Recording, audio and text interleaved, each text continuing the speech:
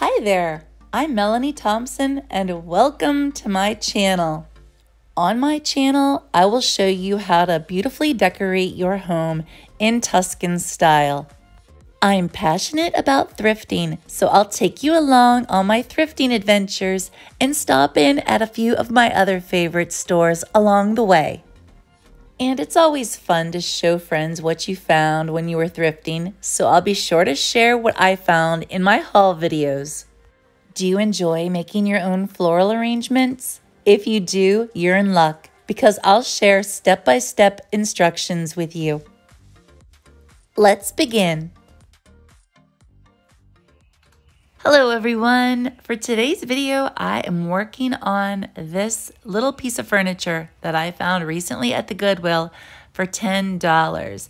And I believe it's a pie chest. It might not be, it might actually be just a little utility cabinet, but I saw this and I just could not pass it up. I thought this piece of furniture had a lot of potential. I mean, uh, so there is some damage, but um, I'm going to really transform this piece of furniture. And this is totally not my uh, taste. I don't care for um, the roses that are on this, but I'm going to remove those and I'll show you how here in just a minute. And you can see this is really dirty. Um, there's a lot of staining inside the door. I'll have to definitely clean this up really well before I can even begin to paint it. But there is a shelf, so that makes it really nice. But I believe that the little shelf uh, holders are missing, so I will have to replace those. But I just, I really saw a lot of potential with this piece. I mean, what do you think? I think that for the price, you couldn't beat it. It was, like I said, $10. And there is a little bit of damage, but I'm going to fix this all up. And I'm going to actually paint this a brown espresso color. So I'm really excited. I've been wanting to work on this for a while now.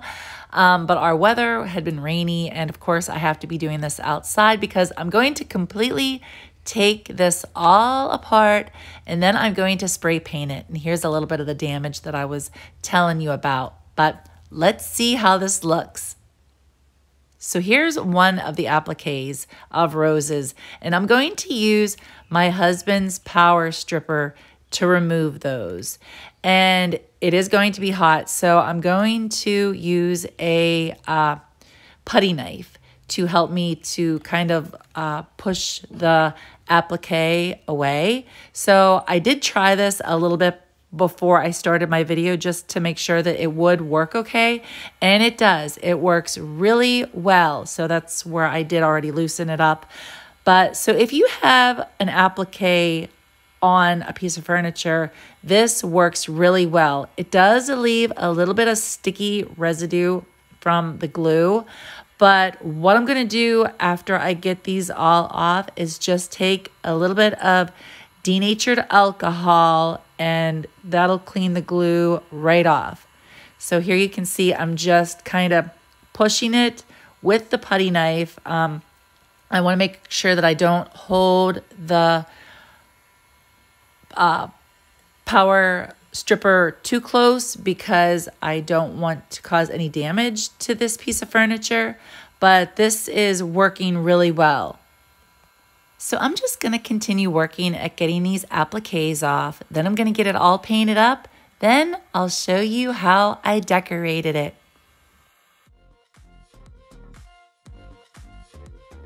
Here's where I decided to place my pie chest. I don't know if that's actually what it is, if it's a pie chest or a pie safe. Maybe it's just a little utility cupboard, but I'm going to refer to it as a pie safe. And I think it's going to be really great here because if you've been following me, you've heard me say different times that my telephone jack and my thermostat really bother me. I do not like it that whenever I'm decorating this area, you're able to see those. So by placing my pie chest here, it allows me to cover up those two problem areas. I decided to leave the same picture above my pie safe because I really love this picture. I just found it last year at Goodwill and I love the beautiful yellow flowers. I think it's perfect for summer.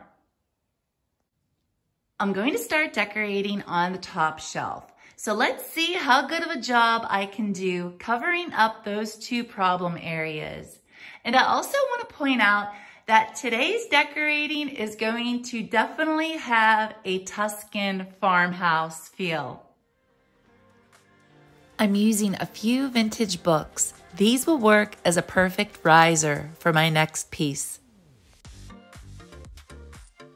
My blue glass mason jars were given to me by my mom.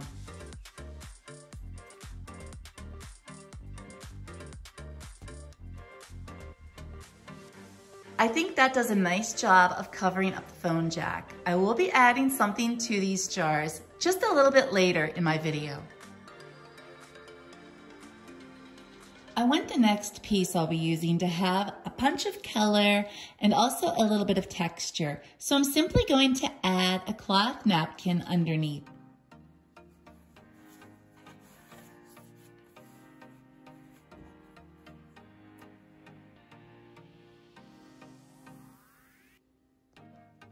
So I just went and added this vintage coffee grinder that I purchased a few weeks ago at Goodwill. And I did share this in my most recent haul video. And if you missed that video and you're curious about all the awesome things that I found, I'll be sure to link that video below in my description box.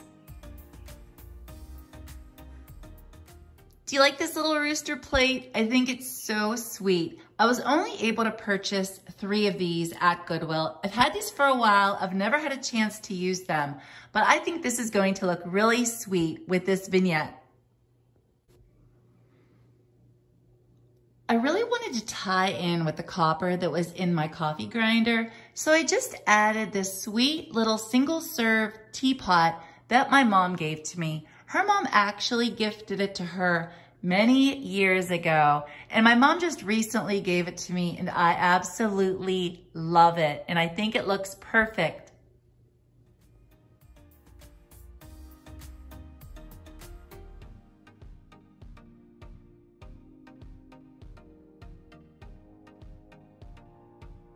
Care to take a guess what I might be adding to one of my mason jars? Did you guess coffee beans? If you guessed coffee beans, you're absolutely right. I'm going to add coffee beans to my one mason jar. And I just purchased the more inexpensive ones at Wegmans. And this is the breakfast blend. I have no idea how these taste because I've never ground my own coffee. I always use pre-ground coffee or the coffee pods. But coming from Wegmans, I'm sure it's absolutely delicious.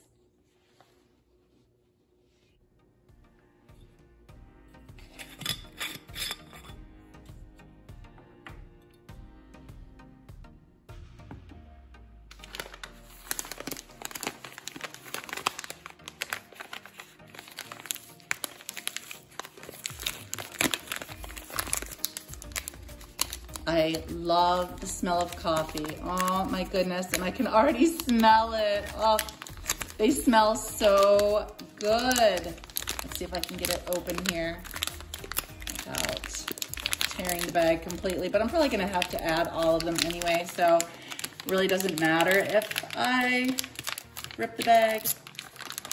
I, don't know. So I'm just gonna pour them in.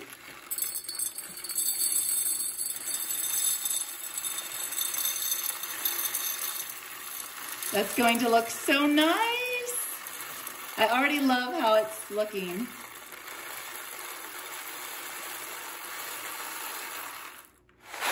So it took almost my whole bag. I don't know if you can see in there how much is left. Just in case you wanna try this at home, that's how much is left in my bag. And this is a 12 ounce package of coffee beans.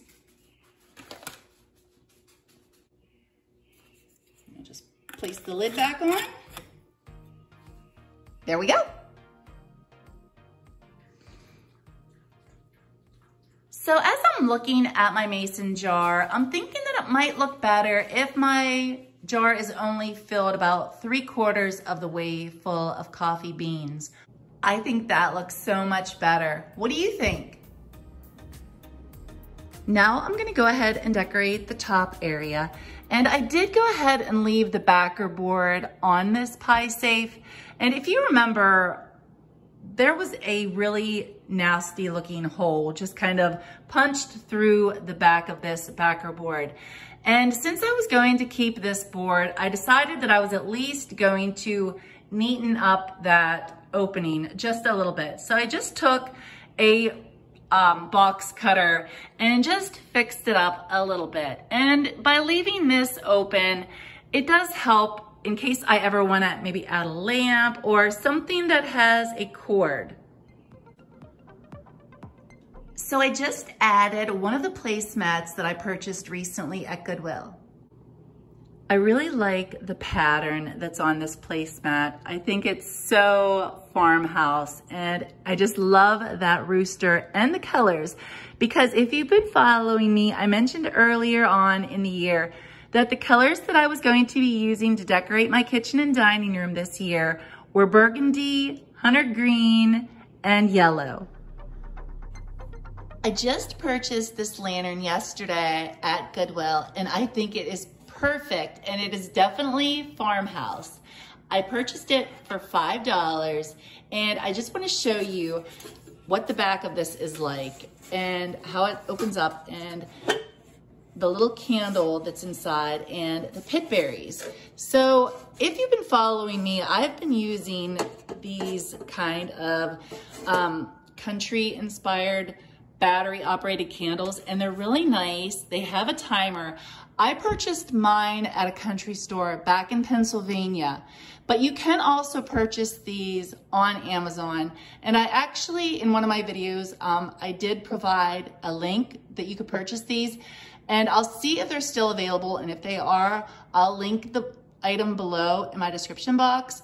But the batteries were even still in this and it works. So that's really nice. I was so happy about that because one of these alone, I believe I pay about $8 for. So the fact that I bought the whole lantern and a candle for $5, that was a really good deal.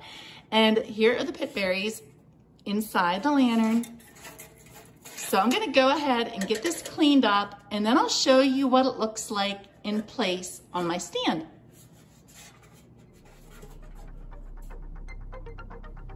I wanted to go ahead and share my candle with you. Because I mentioned it, I just thought it would be nice to share it just in case you were curious and you haven't seen them. But these are the ones that I purchased back in Pennsylvania and they have different kind of stands. I think they're so cute, but I love these and they are on a timer. They look so real and very primitive, very farmhouse. And the brand of this one is actually called Hearthside. It's a timer taper and I paid $8.99 for this. So like I said, the fact that I paid $5 for that whole lantern, that's definitely a great deal.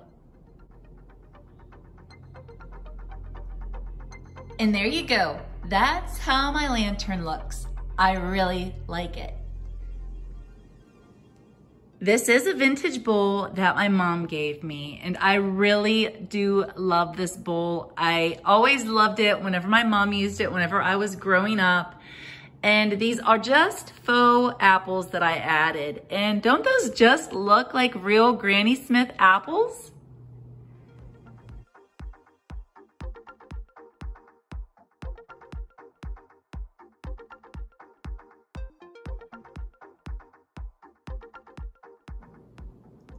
And beside my bowl, I'll be adding this basket filled with these beautiful orange and red pip berries that I bought recently at Goodwill for $2.99.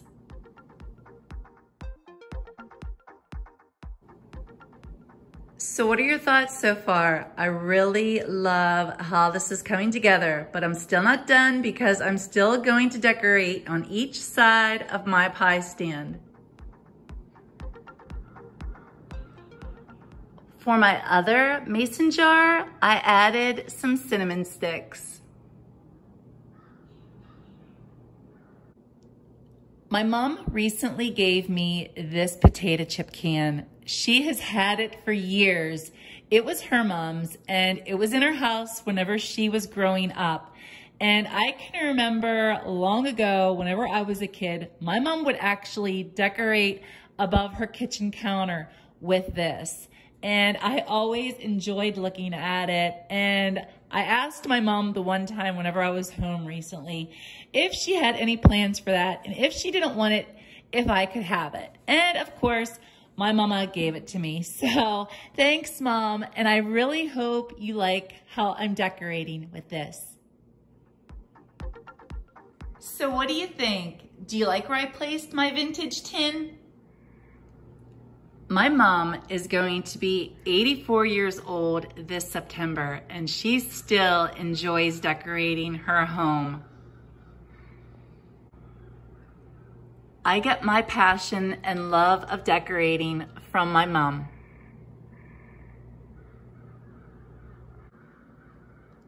And on this side, I placed my crock.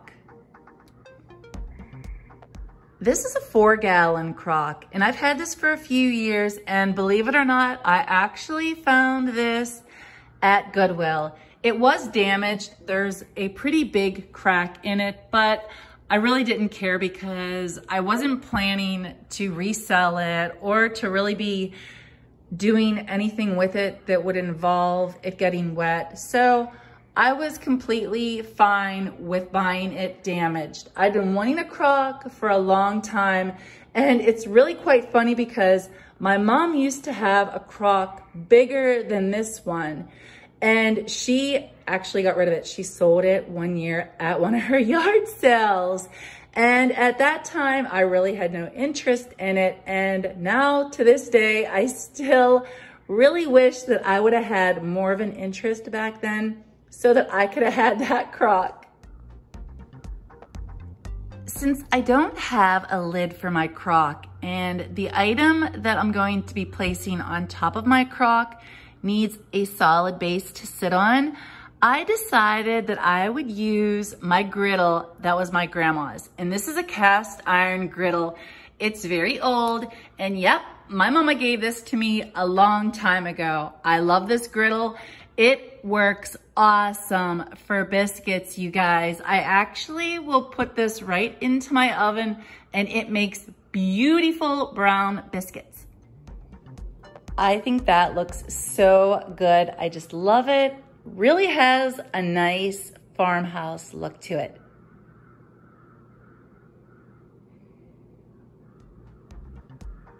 I think that looks so good together. I love it.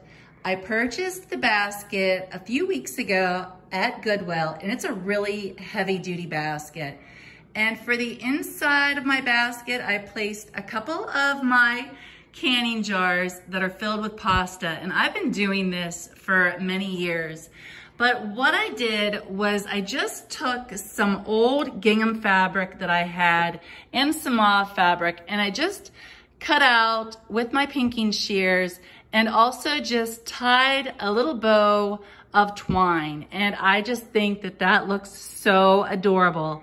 And I added a few of my rooster napkins that were purchased from AmVets. I just love this whole look.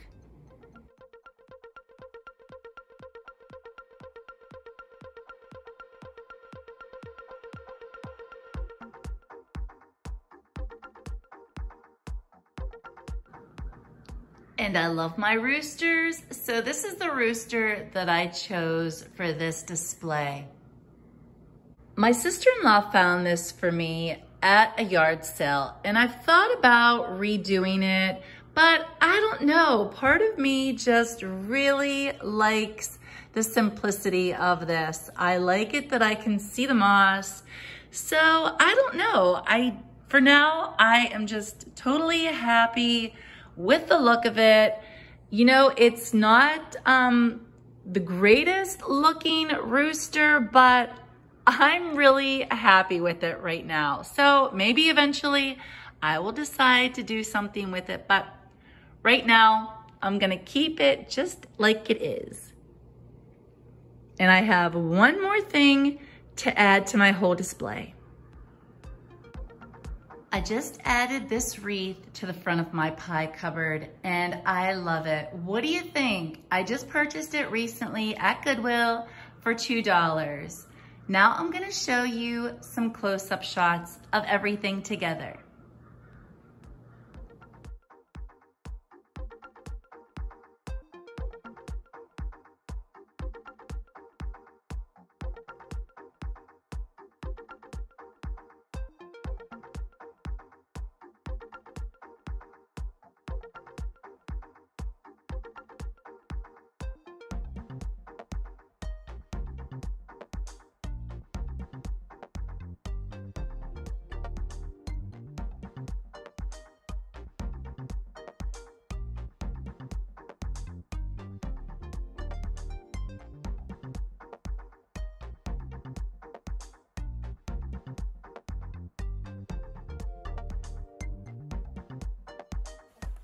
Thanks for watching.